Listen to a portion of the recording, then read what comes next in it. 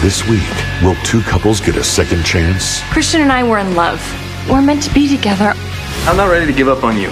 Go out with me. And Always loved you. That's all I want is for you to be happy. Will you marry me?